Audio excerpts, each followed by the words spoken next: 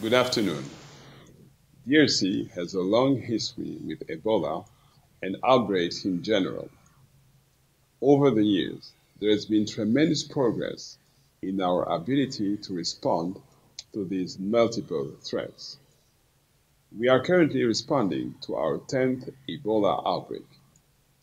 So far, 150 cases have been reported and 100 people died, which is three times bigger than the previous outbreak in the Equator province. There are at least four factors that can explain this huge difference. The outbreak occurred in a densely populated area. The population in that region is extremely mobile as they are traders.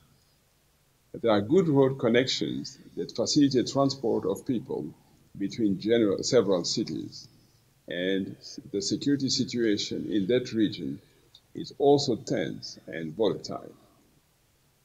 In view of these challenges, we had to significantly step up our response and use all the new tools at our disposal. These new tools include the experimental vaccine that help us break the transmission chain more quickly.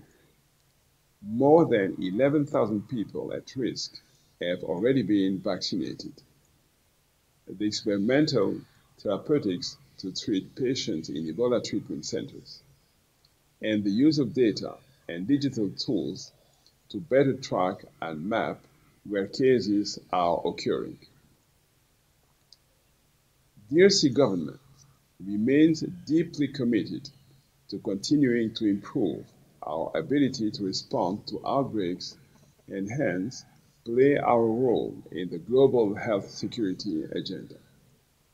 We are glad we can count on the continued support of our partners and the international community not to stop, not only to stop this outbreak, but also ensure that we are working together as a global community to collectively get better at preventing outbreaks in the future.